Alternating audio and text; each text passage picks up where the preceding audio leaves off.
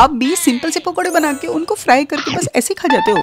तो आज ही ट्राई करो एक मज़ेदार वाली रेसिपी सबसे पहले ये मोटी वाली मिर्च ले लो और इसकी मुंडी को उखाड़ दो। और इसकी बॉडी को भी खोखला कर दो। और हाँ एक मज़ेदार सा मिक्सचर बना लो।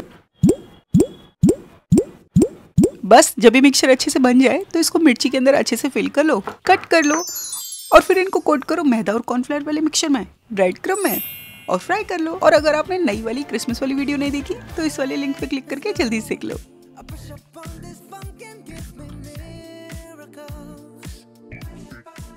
और हमारे मज़ेदार वाले चीजी चीजी मिर्ची के पकौड़े रेडी हो गए। मज़ेदार लग रहे एकदम क्रंची भी है। ओहो हो हो हो मज़ा नहीं लाए।